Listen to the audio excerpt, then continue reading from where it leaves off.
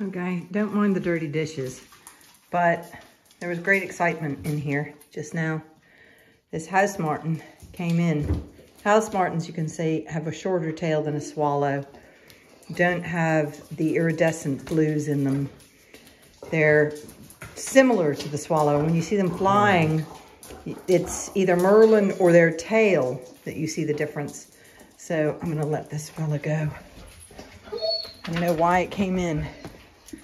But anyway, we're gonna let this baby go. And it should be all well. So, okay.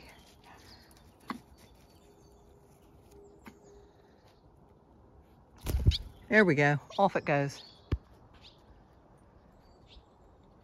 Very happy to be free. Come on, girls. Come on. Woo! Come on.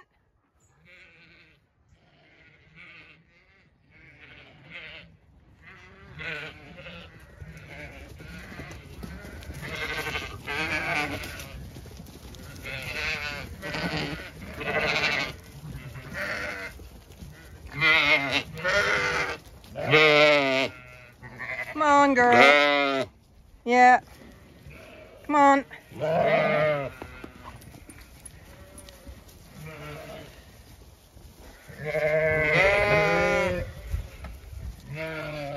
Come on, girls. Come on. Come on.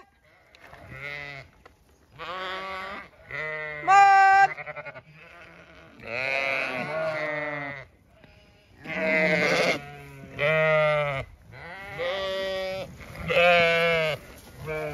No, don't squish me into the machinery. Come on.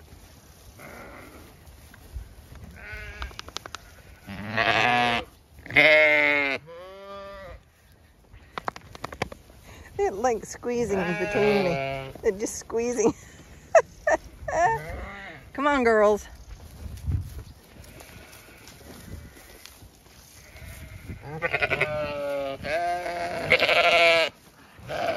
Come on, girls. Come on. Woo! Come on. Come on. Come on, girls.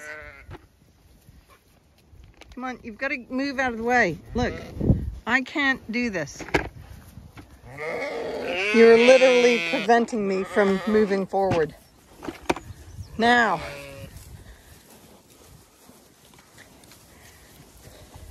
this is only a sample just to get them in here.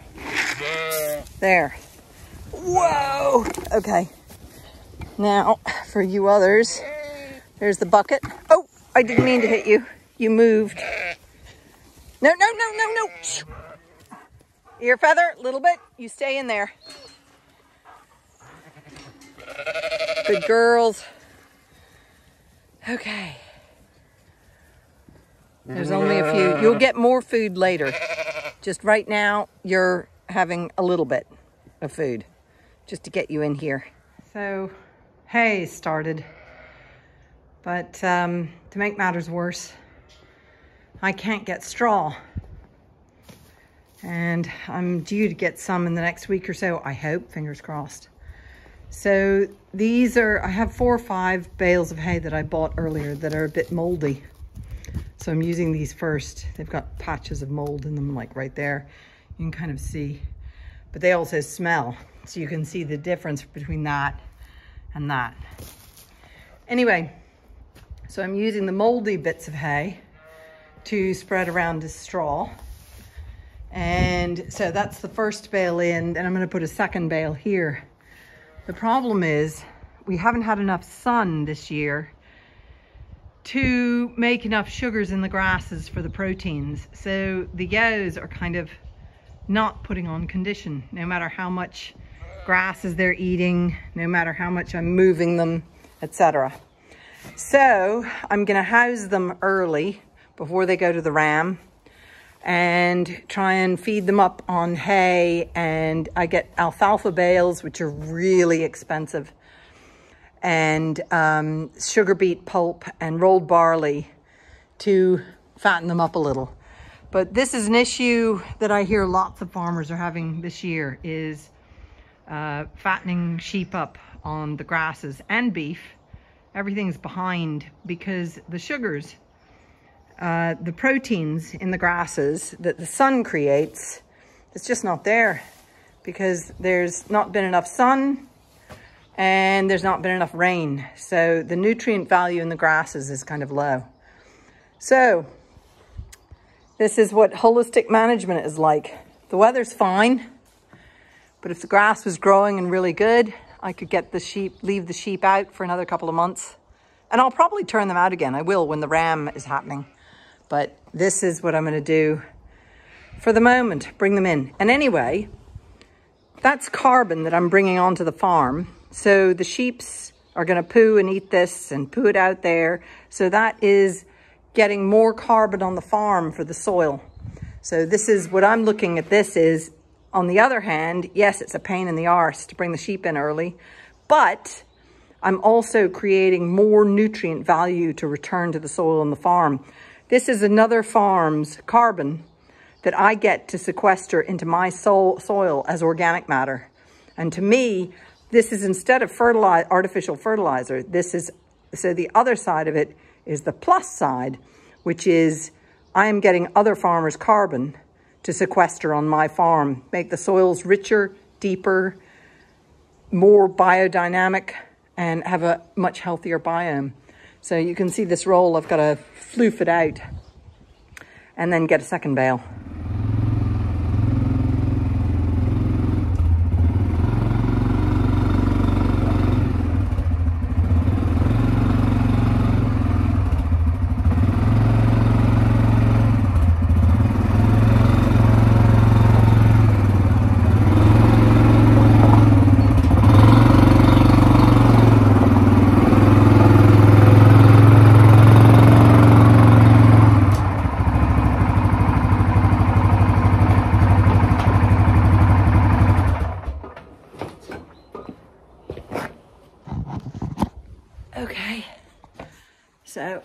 Here's the second bale. Gonna get the other ring for it and uh, so then we'll have two bales in the shed and the sheep will come in out of the sun. Poor girls. But they're gonna have lots of food to get them going again.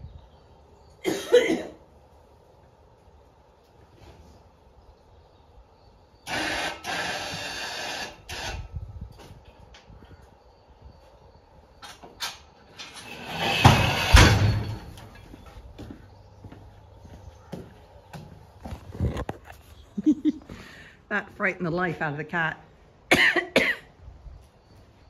oh, hey dust. Welcome to winter. Okay, now rings. The last of the swallows. These are the most recently fledged of the second litter. These are swallows. There are not very many left. Most of them went the other day.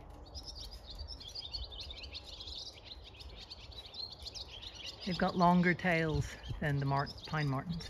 Pine martens, house martins. Jeez, I don't know what I'm talking about anymore. Anyway, I'm taking this up, spreading it out, and the sheep will come in here soon. Oh, Lord. Farming with climate change is going to become more and more interesting and challenging.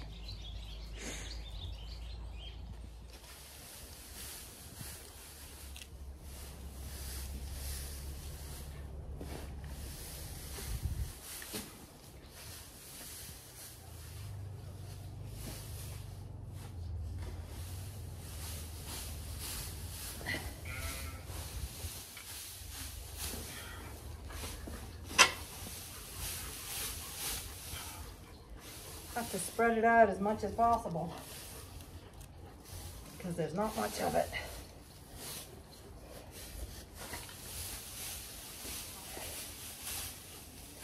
And they pack them tight.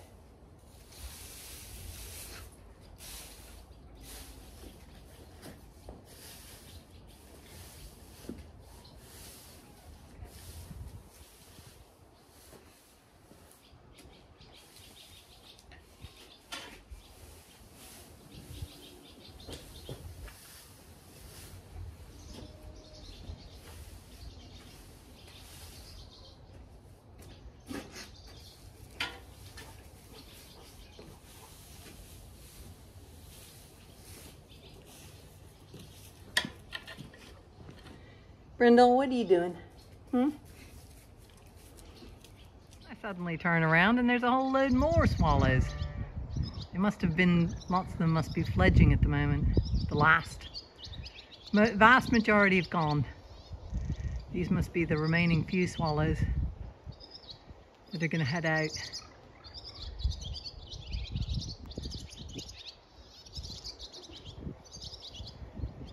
Anyway nearly done. Just got to get the ring around that bale and then the ewes are all waiting for me up there and I'll bring them down. It's lovely still having a few of the swallows anyway, darting about the place. They are so ready to come in. I'm not quite ready for them. I'm setting up their bins of food. But they're saying, we're ready to come in. Look at those big clouds. Thunderheads in the background. We're due some torrential rain showers after 2-3 today. That's a huge thunderhead character. I know, in a minute. Okay. All set up. They have their sugar beet alfalfa feed and they're ready for their stampede down. Down the field and into the shed. So the thunderhead has moved on but another one is moving in since a few minutes ago. Hey girls. Are you ready? See i mean there's lots of grass. There's plenty of grass it's just, there's no sugar in it, no proteins in it because we've had a lack of that this summer. Huge lack of that, which puts the sugars in here. It's either been no sun and clouds or no rain. So it has been not a great year. Hey, Kestrel, are you excited? You are all excited.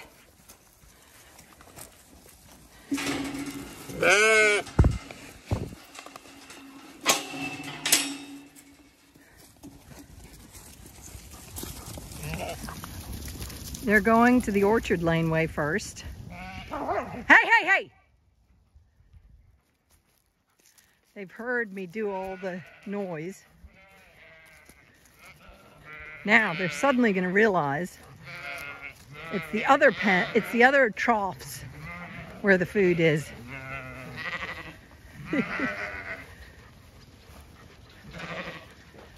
there we go.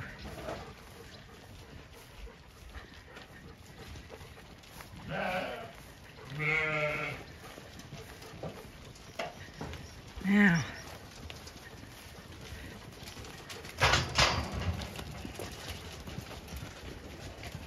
There they are. Spread out. Oh, somebody's been in Egypt. Hey, you. You did something silly. You overran where the troughs were. Ear feather. Silly ear feather. Okay, I better close this gate off. That takes two hands. Literally, they're finishing their food and it's starting to rain split splots are happening. Sun might be shining, but that cloud is raining on us, bringing rain.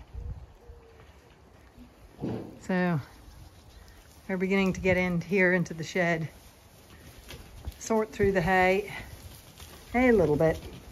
It's going to sort through the water.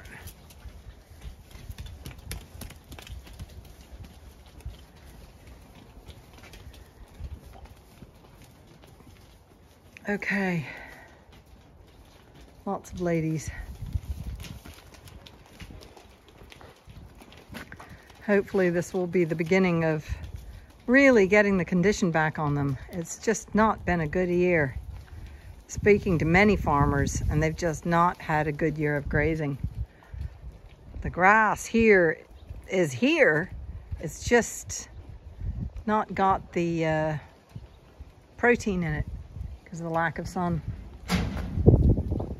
Anyway, I'm gonna move these. See, they're eating the alfalfa. See, there's that alfalfa stuff, which is very expensive, but it's really good for them. Good fiber for them. Earlier this morning, uh, these two tires were nearly flat, so we had to pump them up to do the hay. And so I'm now taking them off to remove them. See, it's two of them. Both this side, I must have gone through a thorn bush or something. So both one side. So I'll have to take these in to get repaired. And here comes more rain. I, my job is being inspected. Oh, somebody's arrived. Cat's even going to see who's arrived.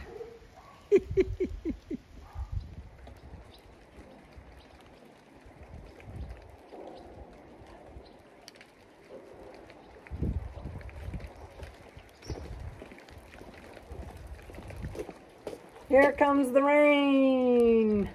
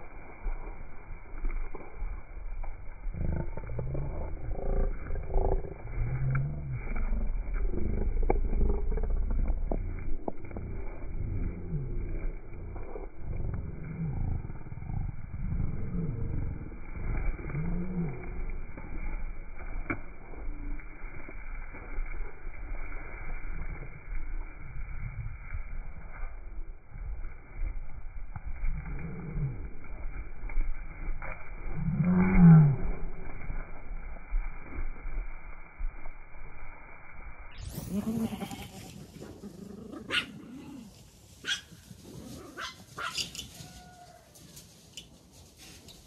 it, leave it, leave it, leave it!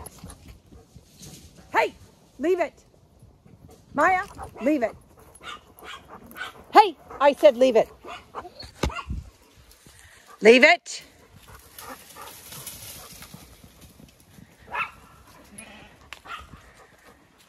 Leave it. Come here. Come on. Leave them be. There we go. Hey, Brindle, back here. Come on. Okay. These guys are going into a field that over 30 plus days has not had any grazing. It has lots of thistles. I didn't get a chance to mow it, but I will to top it after they've grazed it down. I'll go and mow it. But the um, birds have been having a feast, both from the insects in those thistles as well as from the seeds. Floofy white field.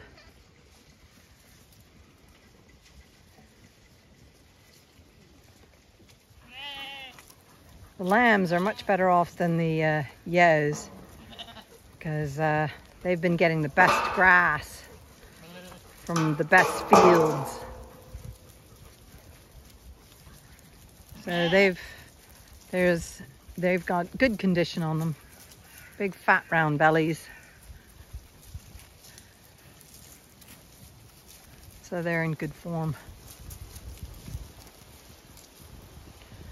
Now this is a different mineral lick than the one they had in the previous field. That's why they're all gathered around it, wanting to lick from it. But you can see this grass. There's a lot more grass in that. So they've got a lot more eating in it. Good growth, but not much protein.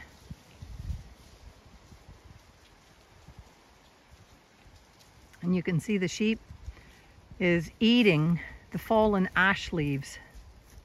Do you see that's an ash leaf it's eating that's fallen and that's a really good thing because in eating those leaves, see it's eating another ash leaf, in eating those leaves it stops the ash dieback disease going back into the ground. So it's a really good thing having sheep because they love eating the ash leaves.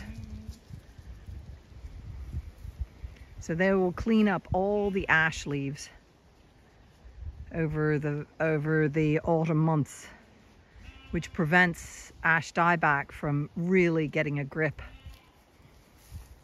They're all having a lovely feast up here.